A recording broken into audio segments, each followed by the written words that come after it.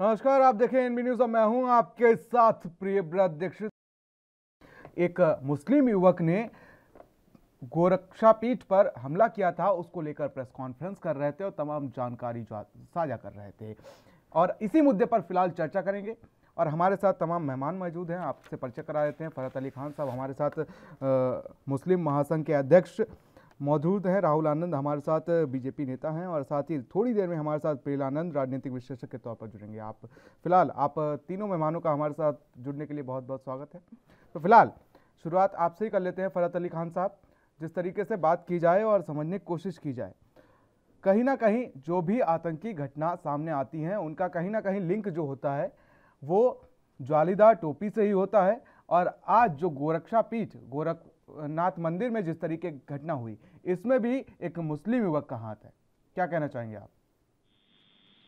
सबसे पहले तो मैं जो अपना नौ वर्ष शुरू हुआ है और उसके साथ में नवरात्र और जो रमज़ान के दिवस हमारे एनबी के माध्यम से और एनबी के परिवार को मैं बधाई और मुबारकबाद देता आपको भी बहुत बहुत बधाई और साथ ही शुभकामनाएँ। जनाब क्या है कि बड़ी बदकिस्मती है हम लोगों के हम लोगों को ऐसे नामों से जोड़ा जाता है जो विरोधी होते हैं जो हमलावर होते हैं हम्म। जो वो अभद्र भाषा का प्रयोग करते हैं हम्म। जो रहनी जो है वो आतंकवाद पैदा करते हैं हम्म। तो मैं इस पर बड़ा खुद को शर्मिंदा महसूस करता हूँ और मैं मानता हूँ कि से मुसलमान बहुत शर्मिंदा होते हैं ऐसी चीज़ होता है देखिए, जो हमारा धार्मिक स्थल है, हम अपने धार्मिक स्थलों पर जाएँ और ऊपर वाले से जितनी मर्ज़ी चाहे इबादत करें। लेकिन दूसरे के धार्मिक स्थल पर घुसकर चाकू से कुछ लोगों पर हमला करना, इसकी निंदा भी होना चाहिए, भर्सना भी होना चाहिए और सरकार से और कानून से अपील भी करूँगा कि ऐसे व्यक्तियों को सख्त से सख्त सजा दी जाए, जो दूसरे की भावनाओं को तकलीफ़ पहुंचाते बचाते हैं साथ में अपनी कौम को भी बदनाम करते हैं अपने दीन को भी बदनाम करते हैं और हम लोगों की भावनाओं को आहत करते हैं। तो मैं भर्सना भी करता भी करता हूँ। लेकिन एक बात और जोड़कर कहूँगा कि लाजमी की बात है कि चर्चा होती है और होती रहेगी।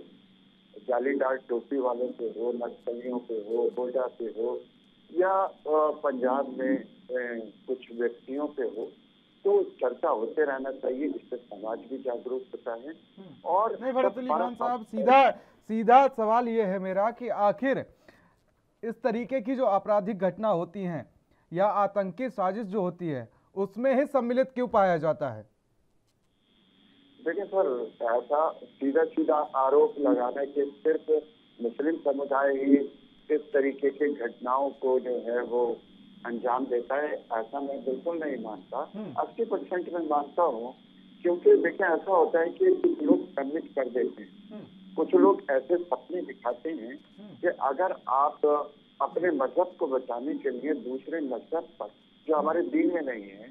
मज़हब पर हमला करोगे तो आपको जन्नत मिलेगी हम्म, आपको बुरे मिलेगी। हम्म। मतलब उनका ब्रेन वॉश कर दिया जाता है। वो जो हमलावर होते हैं वो बड़े भोले वाले होते हैं। फरत अली खान साहब मैं आपसे एक चीज़ और भी समझना चाहूँगा कि क्या इस्लाम इस चीज़ की इजाज़त देता है? देखिए इस्लाम ने तो चीटी को मारना चीटी पर हमला करना। तो उस तक की अगर जीत है तो हम लोग मत समझते हैं कि उसकी आज होती है, वो हम नहीं सुन पाते, लेकिन हमारा रब सुनता है। और अगर उसको कोई तकलीफ़ पहुंचाते हैं तो इस्लाम दीन और अल्लाह के यहाँ उसकी बराबर सजा है। लेकिन हम लोग दीन को अपने मुताबिक ढाल लेते हैं। मतलब हिंदुस्तान का परिप्रेक्ष्य ले लें तो लाजमी सी बात हिंदुस्तान में बहुत सी परंपराएँ जो है, मुसलमान वो सऊदी अरब वाली नहीं करते हम्म। वो यहाँ की परंपराओं में सम्मिलित रहते हैं और हम्म। जहाँ आपने बात कही कि दीन इस चीज़ की इजाज़त देता है हम्म। तो मैं बड़े ए, मतलब ज़िम्मेदारी के साथ इस चीज़ को बताऊँगा कि दीन कहीं पर भी इस चीज़ की इजाज़त नहीं देता कानून उसको सजा कुछ भी दे लेकिन जिस व्यक्ति ने जिस मुस्लिम समुदाय के व्यक्ति ने किसी बंदे पर या कहीं पर हमला किया है हम्म। उसको अल्लाह के यहाँ भी बहुत खराब सजा मिलेगी हर मुसलमान को राहुल आनंद हमारे साथ इसी बीच जुड़ चुके हैं बीजेपी से अपना पक्ष रखेंगे। राहुल आनंद जी आखिर इतनी बड़ी सुरक्षा में चूक कैसे हो गई? राहुल आनंद जी आवाज़ पहुँच रही है आप तक? चलिए जोड़ने की कोशिश करेंगे राहुल आनंद को। फरत अली खान साहब बात रखिए अपनी। जी तो जनाब इन सारे मुद्दों को लेकर के हम्म। लाजमी है कि भी स्पष्ट उठाता है हम्म। और प्रियवरन जी उसमें जो है अहम भूमिका निभाते हैं कि हम लोग मुसलमानों को भी समझे हम इस्लाम को भी समझे और मुसलमानों और इस्लाम को हिंदुस्तान की परंपराओं से धर्म से आस्थाओं से भी अवगत कराएँ। तो मैं बहुत धन्यवाद करूँगा आपका। कि आप मुझ जैसे छोटे बंदे को छोटे व्यक्ति को आ, अपने चैनल के माध्यम से जोड़ते हैं जबकि आपके पास बहुत बड़े बड़े उलेमा विद्वान अली खान साहब जिस तरीके से आप बात रखते हैं और जिस तरीके से आपकी बातें होती हैं आप बिना पक्षपात के अपने धर्म को लेकर भी कटाक्ष करते हुए नज़र आते हैं। ये आजकल कम मुस्लिमों में देखा गया है। जिस तरीके से आप सच का साथ देते हैं ये काफ़ी कम मुस्लिमों में देखा गया है। आप खुद अपने धर्म को लेकर शर्मिंदा कई बार आपको होना पड़ा है ये आपने खुद कबूल किया है। जी, बिल्कुल बिल्कुल। लेकिन मैंने अभी अभी मैं बहुत शर्मिंदा हूँ। मैं बहुत शर्मिंदा होता हूँ ऐसी बातों पर जबकि लोग ये सोचेंगे, समझेंगे कि साहब वो ये क्यों शर्मिंदा हो रहे हैं? जैसे आपकी बात जो है वो बहुत लोग देखते हैं और मैं अपने माध्यम से भी जब कभी आपके एनवी चैनल के माध्यम से बात रखता हूँ तो टू मिलियन से अधिक लोग उसको देखते हैं। उस पर कमेंट्स मेरे लिए भी बहुत खराब खराब करते हैं। तो जो जो मज़हब आलमी इंसानियत का पैगाम देता है, अल्हम्दुलिल्लाह रबिल आलमीन कह देता है कि मतलब मैं पूरे आलम का रब हूँ तो फिर मुसलमान उसको अकेला अपना रब क्यों मानते हैं? जैसे जैसे श्री कृष्ण भगवान हो, जैसे श्री राम हो, जैसे विष्णु हो, महेश हो, वो सारे आलम के लिए सारे विश्व के लिए खाली हिंदुओं के लिए नहीं है तो लाजमी सी बात है कि जो अच्छा है जो अच्छी बातें हैं चाहे वो इस्लाम में हो ईसाइत में हो नहीं बिल्कुल इस्लाम भी इस चीज़ की इजाज़त नहीं देता कि आप किसी को मारे किसी के ऊपर जुल्म करें। चलिए राहुल आनंद हमारे बीच इसी इसी बीच हमारे साथ राहुल आनंद भी जुड़ चुके हैं। राहुल आनंद जी इतनी बड़ी सुरक्षा में चूक कैसे हो गई और उस ज़िले में जहाँ से सीएम योगी आदित्यनाथ का जुगड़ कहा जाता है? देखिए सबसे बड़ी बात है हम्म। कि कहीं भी किसी भी सुरक्षा व्यवस्था में अगर केंद्र लगती है हम्म। तो ये दो प्रकार से इसके ऊपर आप नज़र लगा सकते हैं या तो कहीं कोई सुरक्षा अधिकारी की तरफ़ से कोई कोई चुप तो नहीं हुई या फिर जो अपराधी जो वहाँ पे पकड़े गए हैं हम्म। जिन्होंने अपराध किया है नहीं एक भाग गया और एक पकड़ा गया हाँ उनकी मंशा क्या थी हम्म। दूसरी बात ये ये एक समझना होगा हमारे हिंदुस्तान के अंदर जो सभी लोगों के लिए ये है कि हम एक हिंदुस्तान की जो कल्पना करते हैं जब हम अपनी लड़ाई को आगे बढ़ने की बात करते हैं हम्म। तो उस समय हम अपने देश की सुरक्षा व्यवस्था हम्म। और देश को समझने का प्रयास करते हैं हम्म। जो जो भी धर्म के लोग हैं मैं किसी धर्म पे कटाक्ष नहीं कर रहा लेकिन मैं यही बता रहा हूँ कि जो पकड़े गए हैं वो अपराधी हैं उनको अपराधी के तहत अगर ट्रीट किया जाए और जो लोग गलत मनसे से ये फैलाते हैं हमारे समाज के अंदर एक द्वेष की भावना फैलाते हैं। जिससे ये जग जागृति होता है कि जिससे ये जग जागृति होता है वो एक मांग रखते हैं अलग से जो गलत लेकिन राहुल आनंद जी ज़िम्मेदारी तो लेनी पड़ेगी ना बीजेपी को कि इतना बड़ा ये इतनी बड़ी घटना हो गई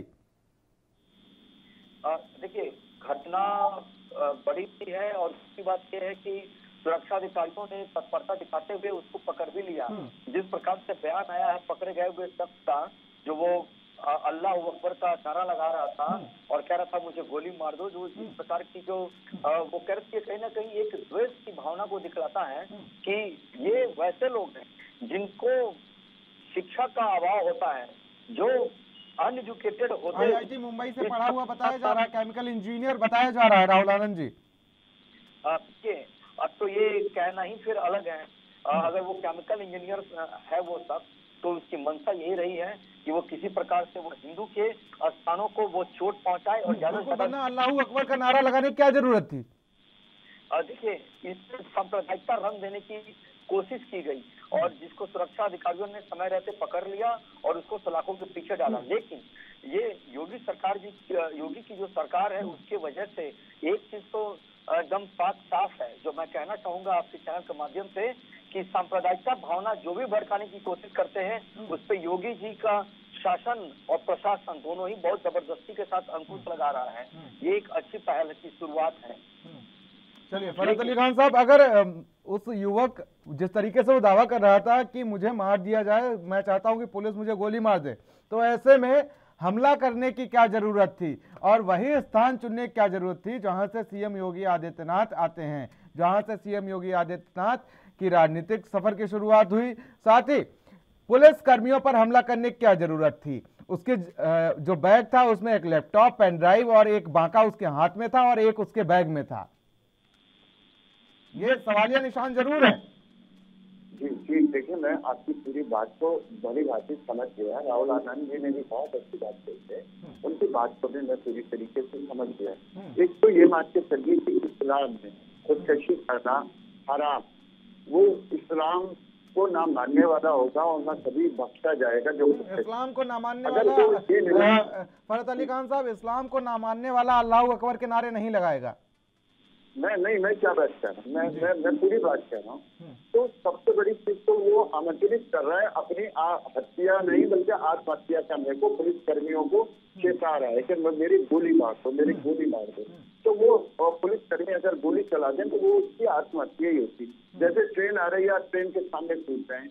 जैसे अन्य है वो तो हम अपने वहाँ के जो पुलिस कर्मी है जो सुरक्षा कर्मी है उनको बहुत बधाई देते हैं कि उन्होंने बड़ा हादसा चाल दिया रमज़ान का माह मुबारक चल रहा है। यार, वो कैसा मुसलमान है पढ़ा लिखा जो अपनी मस्जिद के बजाय अल्लाह अकबर अपनी मस्जिद में कहना चाहिए और लोगों को ये हिदायत करना चाहिए कि आलम इंसानियत का पैगाम देता है ये रमज़ान। आओ मस्जिदों में चले, इबादत करें, अपने मुल्क की लिए दुआएँ करें, अपने सरबराह चाहे मोदी जी हो, योगी जी हो, या कोई भी हो किसी स्टेट में, उनकी ज़िंदगी तंदुरुस्ती, सेहत और सुरक्षा की दुआएँ करें वो कैसा मुसलमान था पढ़ा लिखा जो वहाँ पर जाके अल्लाह अकबर के नारे मार रहा था। मैं ये तो नहीं कहूँगा कि वो मुसलमान था बन के मैं ये ज़रूर मुस्लिम तो नहीं कहा जा सकता और सच्चा मुसलमान तो वह नहीं था चाहे वो अल्लाह अकबर के नारे लगाए या कुछ भी कहे। सच्चा मुस्लिम तो नहीं हो सकता। मुसलमान था। साजिशी मुसलमान था वो। उसको साजिश के तहत भेजा गया हम्म। या वो अपना मानसिक संतुलन पूरी तरीके से खो चुका था हम्म। उसका ब्रेन वॉश करके हम्म। किसी ने भेजा। वरना पढ़ा लिखा मुसलमान आपके टीवी चैनल पर बैठकर अच्छी बातें करता है। अपने धर्म के बारे में मैं अच्छी बातें करता है। दूसरे की धर्म के बारे में अच्छी बातें लौटेंगे आपके पास फौरत अली खान साहब। राहुल आनंद जी बात रखिए अपनी। हेलो। जी राहुल आनंद जी बात रखिए अपनी। जी।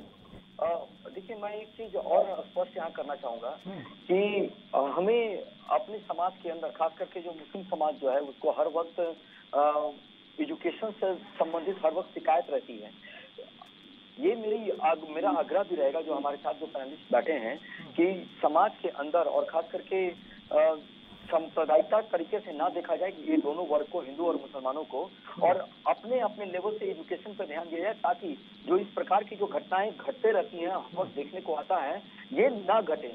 और दूसरी एक जो कठोर सच्चाई है, ये भी एक मानना होगा कि हमारे देश के अंदर जो हम एक हिंदुस्तान बनाने की जो कल्पना करते हैं, उसमें सभी धर्म के लोग आते हैं। चाहे वो सिख भी आते हैं, वो ईसाई भी आते हैं, वो हिंदू भी आता है, वो मुसलमान भी आता है। हमें उस मुसलमान से भी प्रेरणा लेने की आवश्यकता है, जिस मुसलमान ने हमारे देश के अंदर परमाणु शक्ति दिया। हमें उस मुसलमान की भी प्रेरणा और आदर्श बनाने की आवश्यकता है कि जिस मुसलमान ने राम मंदिर के निर्माण में सहयोग किया और उस मुसलमान को भी नहीं भूलना चाहिए जो हमारी देश की बेटी होते हुए भी और पाकिस्तान जाने के बाद भी देश का नाम को रोशन करती है। तो ये जो कर्तृत्वता है अगर ये जब समाप्त होने लगेगी और इसको जब आइडियल बनाकर हम अपने समाज के अंदर प्रतिष्ठित जगहों पर उसका सम्मान रखेंगे सम्मान देंगे तो आने वाले समय में ये हिंदुस्तान की जो कल्पना मैं कर रहा हूँ और हम सब मिलकर जो सोचते हैं, ये जीतेगा और एक बहुत अच्छी बात यह है कि सुरक्षा अधिकारियों ने इस चीज़ को टाला, जो सांप्रदायिकता, रंग हो सकता था उसको टालने का भरदम कोशिश किया है। इसके लिए भी बधाई देना है उनको देने के वो पात्र हैं। लेकिन जो गलतियाँ हुई हैं इसकी जाँच होनी चाहिए। और जाँच होने के बाद ये बात का ज़रूर पता लगाना चाहिए कि उस व्यक्ति की मंशा क्या थी उस शख्स का क्या मंशा था जो उसने सुरक्षा अधिकारियों को भी घायल करने का प्रयास किया जिसके वजह से जाँच का विषय कहीं ना कहीं चूक भी हुई सुरक्षा में राहुल गांधी इस चीज़ से क्यों पीछे हट रहे हैं आप? सुरक्षा जाँच तो होनी चाहिए लेकिन कहीं ना कहीं सुरक्षा में चूक ज़रूर हुई है। इस चीज़ से क्यों पीछे हट रहे हैं आप? देखिए मैं तो आपके सामने इस बात को कह रहा हूँ कि सुरक्षा में चुप हुई तभी तो वो लेकर चला गया। लेकिन इसके लिए भी धन्यवाद देना चाहिए। कभी आ, मैंने अपने प्रारंभिक चर्चा में ही इस बात को कहा था इसमें दो तरह के पहलू को देखने की आवश्यकता है। पहला देखना है कि सुरक्षा व्यवस्था उस समय कहाँ से सुरक्षा कर्मी दूसरी ये कि वो घुसा कैसे। वो घुसा तो उसकी मंशा क्या थी? जब वो पकड़ा गया तो इसकी जाँच होनी चाहिए और इसके अंदर जो भी लोग दायरे के अंदर आएँगे उन सारे लोगों को पकड़कर उचित कार्रवाई करेगी सरकार। इसका मैं आपको आश्वासन देता हूँ। भविष्य प्रकार घटना ना घटे। चलिए बिल्कुल एक फाइनल कमेंट ले लेते हैं। फरहद अली खान साहब से फरहद अली खान साहब दस सेकंड में अपनी बात रखिए। देखिए जैसे राहुल आनंद जी ने कहा मैं सीधी बात कहूँगा कि जहाँ मुसलमान मदरसे में दीनी शिक्षा हासिल कर रहे हैं वहाँ सामाजिक शिक्षा भी हासिल करें। हम्म। दीनी शिक्षा हासिल करके जहाँ वो बहुत अच्छे मौलाना बने वहाँ पर सामाजिक शिक्षा हासिल करके एपीजे कलाम बने जो देश को सुरक्षा भी दे हम्म। जो देश को स्वास्थ्य भी दे हम्म। और जो देश के लिए ही समर्पित भी हों। हम्म, बिल्कुल फरत अली खान साहब। फ़िलहाल आप दोनों मेहमानों का हमारे साथ जुड़ने के लिए बहुत बहुत शुक्रिया। तो फ़िलहाल जिस तरीके से समझने की कोशिश की जाए तो गोरक्षा पीठ में जो भी हुआ, वो सच में निंदनीय है, क्योंकि एक सच्चा मुसलमान इस घटना को अंजाम नहीं दे सकता।